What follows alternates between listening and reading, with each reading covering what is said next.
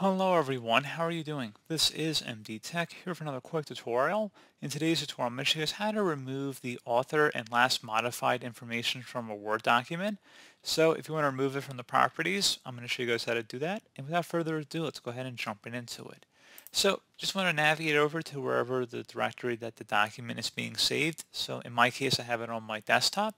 And you want to right click on that document and select properties. You want to select the details tab and then you want to select to the bottom where it says remove properties and personal information. And at this point, just go ahead and where it says remove the following properties from this file, just select that and then you're going to go ahead and just check mark everything you want to have removed. So you want to have the author saved by and perhaps any additional information like when it was last created or modified, for example. And you would select OK and now you see it's been removed from the document properties.